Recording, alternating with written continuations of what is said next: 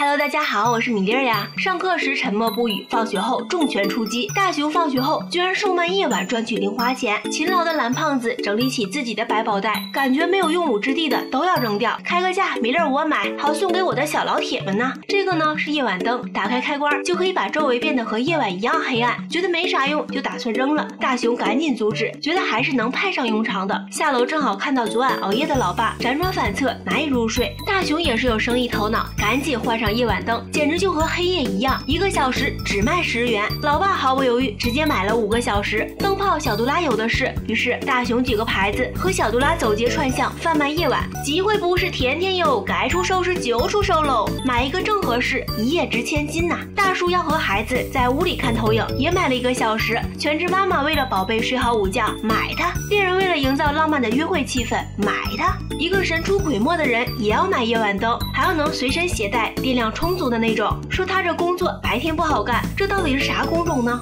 小伙露出了邪恶的面孔，当然是强盗了。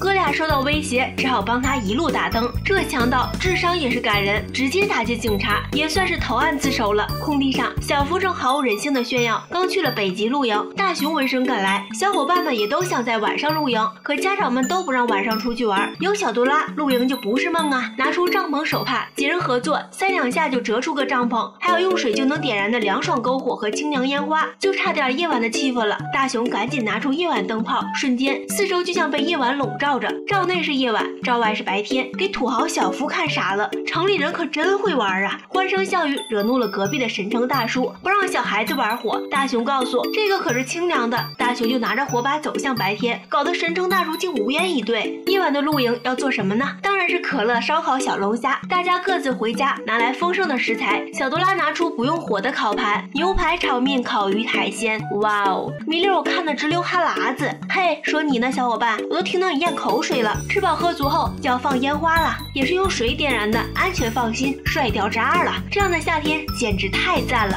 最后，小杜拉拿出大礼花，可放了之后只能听见声音，礼花就消失不见了。可能是夜晚的高度不够，小杜拉又拿出探照灯，把这个装在夜晚灯上，瞬间烟花骤然绽放，璀璨了整个天际。大家围坐在篝火旁，篝火在静谧的黑夜中闪耀着金色的光辉。小杜拉弹着尤克里里，哼着小曲儿，胖虎竟然在安静的听。有没有好可怕？玩累的几人躺在帐篷里呼呼大睡，睡到自然醒。蒙圈的大家以为看到的是朝霞，其实已经到了真正的傍晚。老妈们已经拿着小皮鞭，还有五分钟到达战场。在空地上竟然是白天，这自然是小杜拉耍的把戏了。那么米粒在想，夜晚灯和白日灯放在一起会怎样呢？